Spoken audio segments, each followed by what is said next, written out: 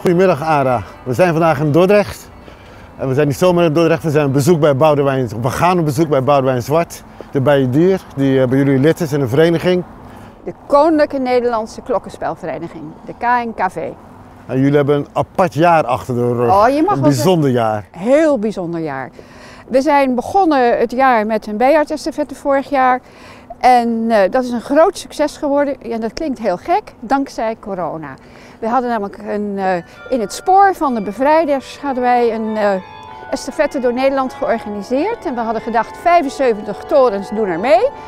En uiteindelijk is het laatste deel wat viel in de coronaperiode is tot 120 torens hebben gespeeld in dat kader. Het zag er naar uit dat de estafette afgelast zou worden.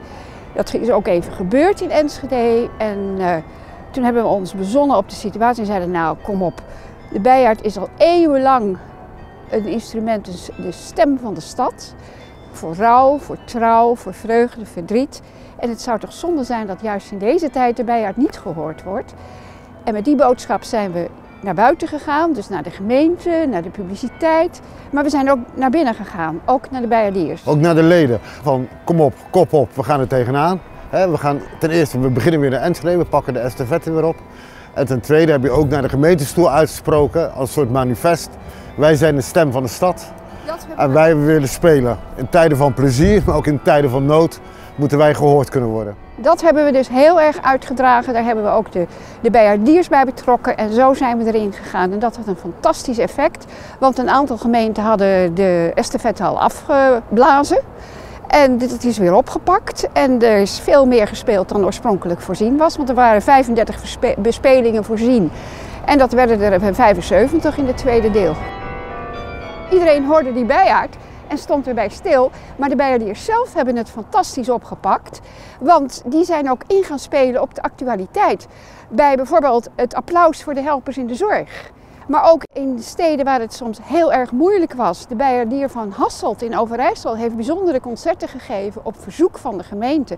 Om de mensen een hart onder de riem te steken. Hallo Boudewijn. Kijk eens aan, welkom uh, in Dordrecht. We gaan naar boven. Er is veel gebeurd het afgelopen jaar. Het is voor heel Nederland een, eh, een pittig jaar geweest. Ons kwam te oren in ieder geval dat jullie als bijaardiers hebben jullie eigenlijk een, een, nieuwe positie verworven in, uh, mag ik zeggen, in, de openbare ruimte. Ja, dat is heel bijzonder geweest, want wij spelen natuurlijk altijd al. Maar juist nu in coronatijd blijkt dat mensen de bijaardmuziek uh, extra waarderen. En dat komt omdat veel mensen thuis werken en dan horen ze de bijaardiers spelen. En ja, zo kregen we allerlei verzoeken te spelen. En van, van, van alles en nog wat. Eh, alles wat maar los en vast zit. Van wat de toekomst brengen mogen, een mooi geestelijk lied. Tot Imagine van de Beatles. Of uh, uh, I Will Survive van Gloria Gaynor. Of, nou, het kon, en kinderliedjes, alles kon. En daarmee hebben we eigenlijk opnieuw onze positie als uh, Bayardiers... als muzikanten van de stad kunnen bevestigen, zeg maar. Wat wij eigenlijk altijd al jaren doen.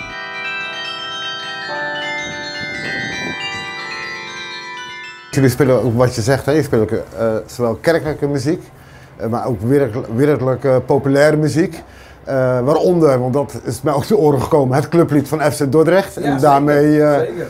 heb je het ook immens populair gemaakt ook. Ja, zeker, zeker. En moet je je voorstellen, die, die mensen van zo'n club, die, die komen elke week komen ze samen. En dan komen ze altijd naar, naar zo'n stadion. En in één keer mag dat niet meer. Dan, ja, dan is zo'n lockdown en dan kunnen ze elkaar niet meer zien. Dus ja, toen kreeg ik het verzoek, wil je ons clublied spelen?